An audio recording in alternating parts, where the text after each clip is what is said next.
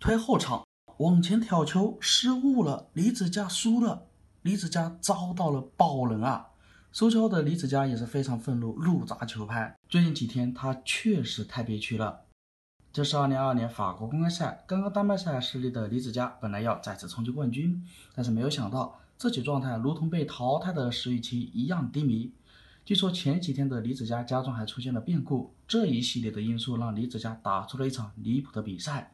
下面就让我们来看看李子嘉是如何输的吧。这个到位，才能去来打一些进攻。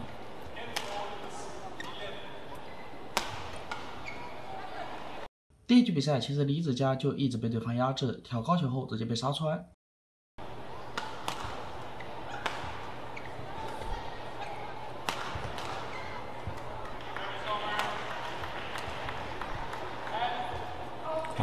这个控球的角度非常的到位。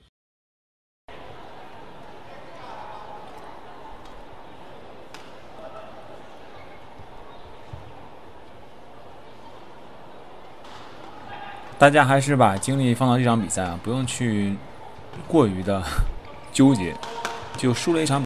调后场就是被直接杀穿。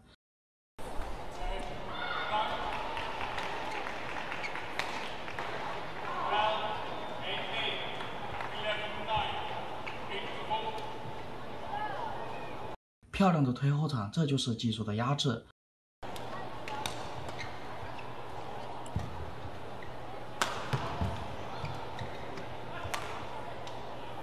李子嘉是哎呦，雷斯塔维托的劈杀出界，李子佳追平了比分。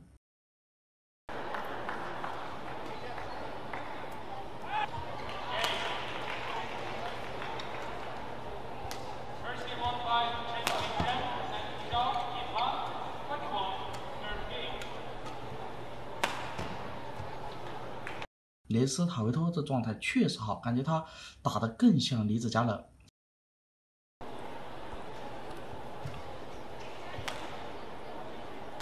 还是这个劈对角，打两边拉开转体，还是往前的抢网技术更好。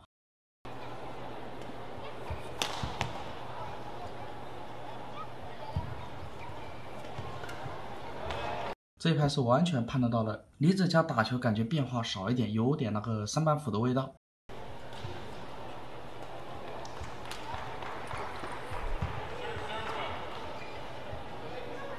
判断出现了失误。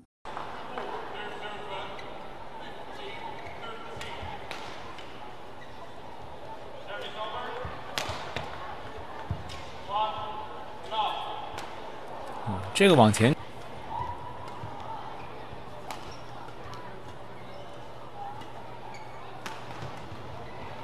还是整个的控制，李子嘉这两，李子嘉这几个搓网打的确实不错，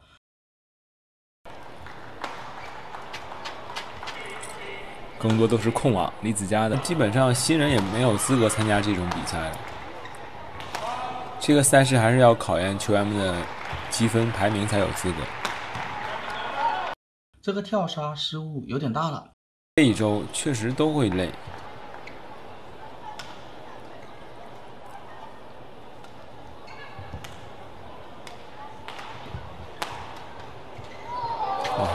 这球太漂亮了，李子嘉这个防守有点神奇啊，反超比分了。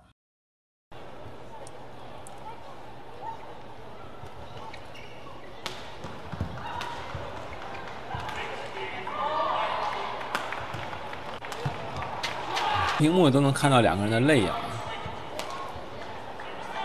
杀球出现了失误。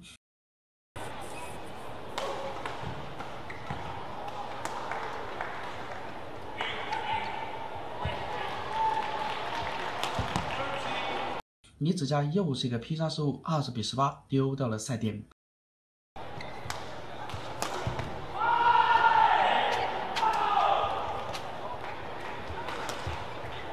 明显慢了一点，就人也不兴奋，能看出来。漂亮，雷斯塔沃托这一拍杀追身杀的是真凶啊，直接拿下第一局比赛。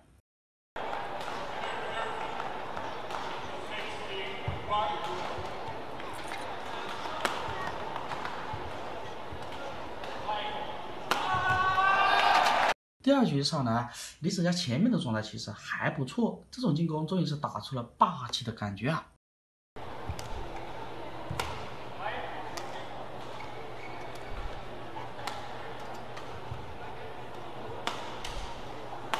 自己主动来进攻得分，又是一个披萨得手。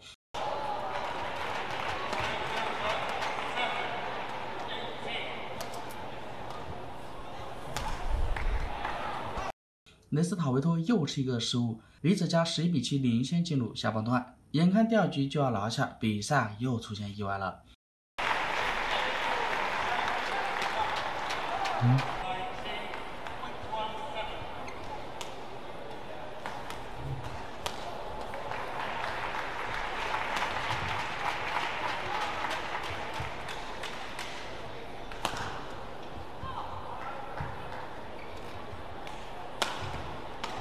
再来披萨，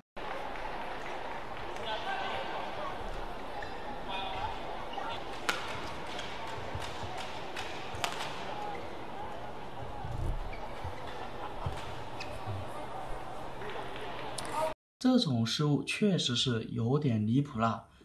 的，没有太弱的，哎呦。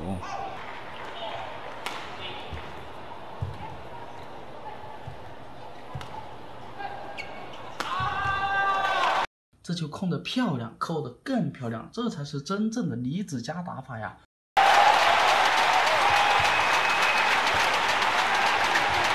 好球！但是失误真的跟石宇奇那场一模一样，就是多。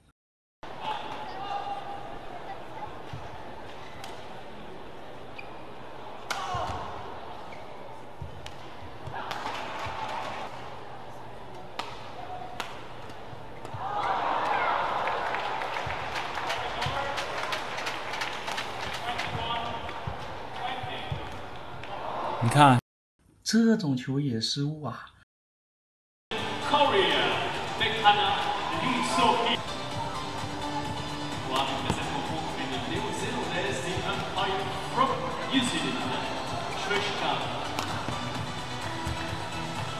漂亮。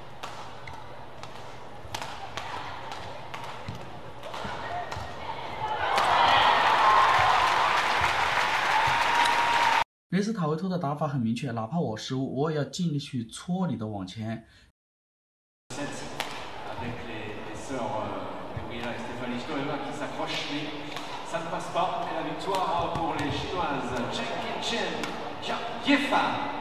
哦，好！又是一片搓网后的劈杀，然后自己的进攻再去衔接。现在似乎大家都找到了打李子嘉的方法，追平了比分。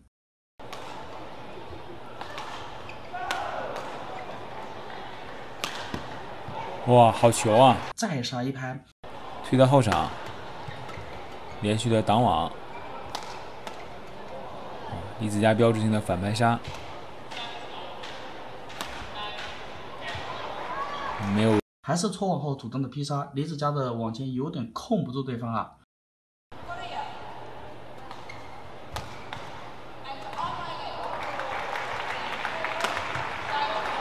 好不容易出了一个机会球，结果自己歪的非常离谱，这种球就可以看出状态的差距。